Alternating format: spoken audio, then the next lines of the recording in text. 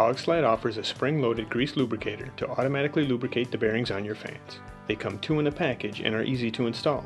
Start by removing the existing grease zerk from your bearing housing utilizing a wrench or ratchet. Screw in the lubricator until it is hand tight, then use a wrench to give it another quarter turn. Connect a grease gun to the zerk on the lubricator and fill it approximately half full with grease. Wipe off any excess grease remaining on the zerk, and you're good to go. Save yourself time and ensure your fan bearings are always properly lubricated with Hog Slat spring-loaded automatic greasers. You can purchase yours at any Hog Slat store or visit our website at www.hogslat.com.